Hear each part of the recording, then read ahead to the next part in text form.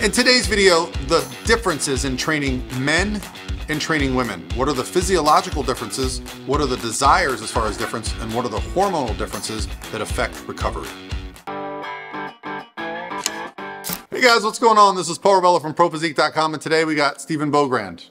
Do you guys know what that means? Science with Steve. Mm. Be sure to check out Steve's YouTube channel below if you want to learn a little bit from someone who has a master's degree in exercise science. In today's video, we're going to talk about the sex differences between men and women when it comes to training, and we're going to back it up with a little bit of research. Just a little bit of research. Yeah. So I think you you you sent me like 10 to 12 studies. Yep. We're going to pull from three main studies, and we're also going to talk a little bit about experience. Stephen and I happen to coach quite a few female athletes.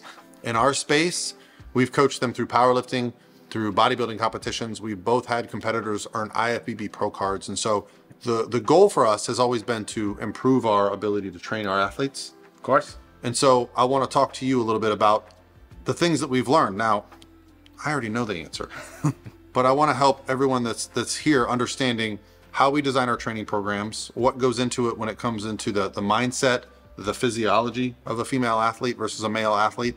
Um, and that's what's really neat about some of these studies is that they're not just looking at what's the actual physiological difference between a men and a women. Right. It's more to it than that. Some of them for sure. And I do think that it's really important that we understand the impacts that social lives and kind of our society have on those same training preferences and how we're going to go about that.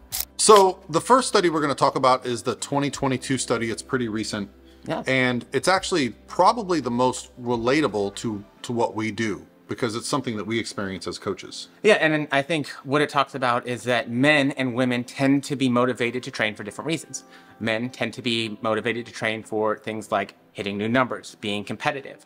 Women tend to train for reasons like body composition, attractiveness to some degree. Uh, which is also interesting to me because when you look at some of the other data that's out there, what you see is that women actually have a much better response in terms of overall self-confidence and self-worth when they get stronger and men do not have that same response even though we see that with their motivations Yeah, and I think, you know, speaking from a male perspective and coaching a lot of men, um, putting on size and getting stronger are two really big factors in us as men that we want to be able to compare to like, you know, the old saying, how much you bench. you don't really ever hear women saying that. Never never Right. how much you hip thrust Now, I will say what women tend to focus on is like, damn, look how good she looks in her leggings. Yep. Right? Whereas I've never said that about you. that's kind of bonkers So the point being here is that yes, there are some differences in the actual kind of motivations behind getting into training. And that's something that when we consult with a client, it's very important to us. Yeah, because if you're setting up a training program that's all upper body focused for your female clients, well, they might not want to stick to it very long and they might not like the changes as much as if we really focus on lower body and particularly right now glute development. Yeah, and so even if you're training a, a female athlete with more lower body dominant things, you might be doing them a disservice if you don't understand that they are focused less on overall leg development, more on glute size, which is the very common trend right now. Yeah. And you know, in terms of competitors, you just have to go to what the standard is and what that individual needs. Yeah. So for us as coaches in a certain division, like the bikini division or the figure division, you have to understand what the, the standard is, what the requirement is for training that athlete. But as far as like the societal difference between men and women, I think the best way I can sum it up is very few women have chest day on their plan and very few men have glute day on their plan. Yeah, I don't know a lot of guys that um, have a really developed lower body and a very less developed upper body. Yeah. that Pretty guy- pretty normal for the other way around. That though. one guy on Instagram with the big pants. But yeah, I mean, outside of Bret Contreras, I don't know many men that are so focused on training their lower bodies and kind of they just train their b- upper bodies passively. Even though Bret's been doing a glute and shoulders now, maybe he's trying to do bikini. but like I've never really focused much on my glute development. It's more been around the performance of a squat or a deadlift or building the overall development of the legs. The glutes just happen to come along with it, and I think that's the big difference. Yes, absolutely. The next study that we're going to talk about is a 1993 study that talks about the gender differences between strength and muscle fibers. Okay. So the idea here is that, you know, I think the perception would be that men have a lot more muscle fiber and they're a lot stronger, women mm, weaker and smaller. But when you actually get into the data, what, what do we actually see? So when you talk about absolute numbers, you're actually correct because most men are going to have a heavier body weight, so they're going to have more muscle just in general as part of that. When you look at things relatively, size for size, pound for pound, as long as they have the same amount of muscle, things are going to be relatively stable across both genders in terms of performance and their ability to put on muscle for the most part. Now, there are some differences hmm. that those hormones will make in terms of my ability to recover well versus a female's ability to recover well. And so when we see female training programs, a lot of times they're very high volume. Well, females can get away with a bit more volume because they are going to have less protein turnover based on their genetic differences or their gender differences. With that being said, it means that they're going to also have a better oxidative capacity, which means they're going to be able to get away with a little bit less rest in between sets, and they're probably going to be able to train the same thing maybe a little bit more often than a male. But again, we see that typically in normal programs, whereas a lot of females will have you know, lower body three days a week with two upper body sessions, yep. and males will do push pull legs. So each thing's only getting hit twice a week, and they're getting to maximize their recovery throughout that. Yeah, I find it very interesting that the the women relative to height and weight are almost ideally the same. And something I remember from being in school with the USF was that actually women tended to have a little bit proportionally better response to lower body training than men, yes. and men tended to have a little bit better upper body response. But when you talk about relative, you know, head to toe differences, they're pretty similar. And I don't think many people would assume that.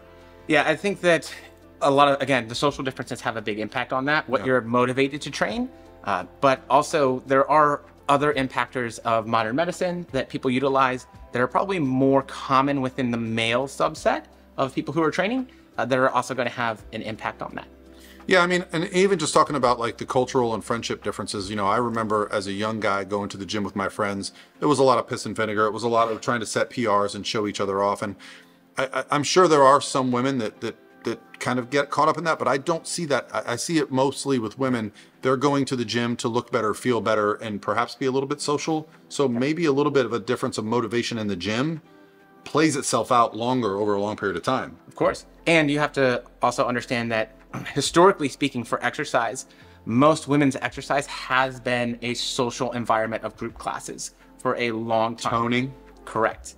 And so even though those things can be great, it does change when we start looking at yeah. more true to form resistance training individualized. Well, and this video would not be a true representation of, of women and how they were represented in fitness if we didn't talk about the idea that women get bulky when they lift weights.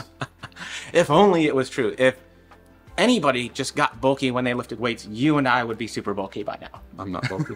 no, sorry, buddy. so actually, like if you look at you know some examples of our competitors, which we'll put in the video here, you can see that these athletes are eating optimally. They are training optimally. They're sleeping optimally, sometimes for a decade or more, yeah. and they are still not bulky. It is not going to be represented in uh, a bulky fashion if you are training heavy and eating well. Now you put on a lot of body fat, if you go down a path of like maybe you want to be a strong woman or a power lifter and body composition is secondary to performance, that's where you may get that confusion from. But it's not as if all of a sudden you're going to lift a weight and, and start to be bulky.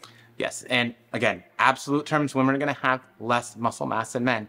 So it's just not something that you need to worry about. Plus, your genetics are going to determine how well you do or don't respond. And we are working within that. Yeah. And, and one thing I've noticed as well is I, I almost feel like women are almost hyper responders to performance enhancing drugs. And now with hormone therapy becoming a thing, I think it's more available. And when you see a smaller framed female get on some performance enhancing drugs and you see their muscularity grow, it's almost, uh, it's it's really like a hyper responsive state where they look super impressive. Now, that may not be what you're after. It might just be for them, but it's just something that I've noticed being around physique competitors that because of their smaller structure, maybe smaller wrists, and they look super impressive in person. Yeah, and I think it also has something to do with being lean. Anytime that yeah. you're leaner, all of the lines in your physique are a little bit more defined and it's going to make you look bigger. You and I yeah. both know nobody tells us we're big when we got a t-shirt on. But if we're in prep and we're close to a show, as soon as that shirt comes off, everybody says how great they look and how yeah, and so well, I'll, actually highlight two of my natural competitors that that uh, Lana Dunbar, who just won the competition at the Ben Weider to go to the Olympia next year. You can see her here, obviously a natural competitor, not bulky, and then Alexandria, who won her pro card at that same show. Same thing, you know, these women are training hard, eating perfectly towards their goals. They're not looking anything but very feminine. Right. So let's talk a little bit about a, a 2010 study. It's very interesting because they focused on the bench, and I think that'll come into play with some of the results. So describe what they were looking at in regards to recovery time. So essentially, they were looking at how long it took each individual to recover, male versus female.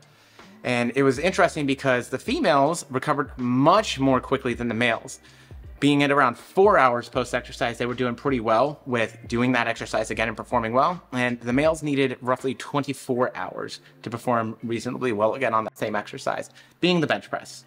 Yeah, so for me, what I would have to know from this perspective is how much effort they were putting into this session. Because if you and I go in and do a particularly heavy, like bench press session for a for a powerlifting program, Yeah. um, I mean, sometimes it can take two or three days to be recovered. If you asked me to do that session again in four hours or 24 hours, that's going to suffer.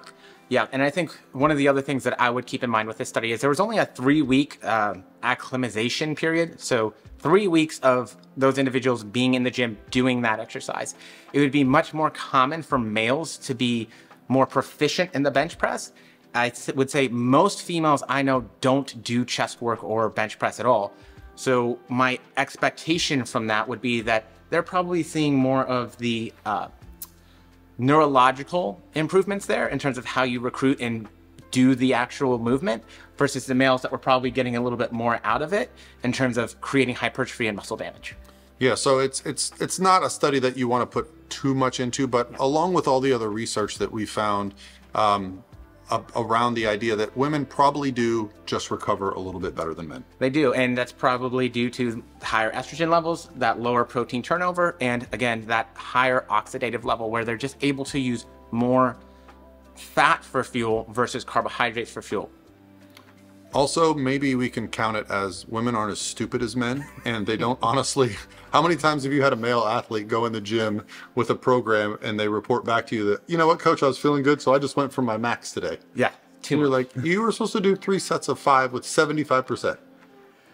Well, I will say this. In my experience, most women do follow the plan a bit better than some of my male clients. Now you know why I coach women mostly. All right. But the idea here is that although there are some differences, I don't think they're as big as most people would expect them to be. No, when you come down to the brass tacks of it all, the same things that grow muscle for men are the exact same things that grow muscle for women. You have to utilize progressive overload. You have to lift at a high enough amount of 1RM or close enough to failure, and you have to do the work. Whether you're a male, whether you're female, it's the same thing. We go in there, we work hard, we get out, we recover. Yeah. And so I just like to think of it like this pecs are equal to glutes for women. Like that's really what it comes down to. You know, not too many women are worried about how good they look in a t-shirt. Okay, you know, so it's a, so it's a little bit of a cultural difference. Now, one thing I've seen some other cultures, it may be a little bit different. Some other gyms, it may be a little bit different. So you're going to find pockets, but I think generally speaking, the way I see things right now, women are more concerned again with you know looking good and feeling good. I think men towards, tend to gravitate a little bit more towards the like getting as big as they can and getting as strong as they can, at least for periods of their life. Yep, I would absolutely agree. All right. Hopefully, you guys enjoyed this content. We've been doing a weekly video discussing women and the sport of bodybuilding, women's health, women's hormones. If you have any topics you'd like us to cover, let us know below. We love to dig into the research. We love to learn a bit more to support you guys. If you are looking for a coach and want to set up a free consultation, I'll put the link below at prophysique.com. Be sure to check out Stephen's uh, YouTube channel as well as our podcast, The Pro Physique Code. I'll talk to you guys tomorrow.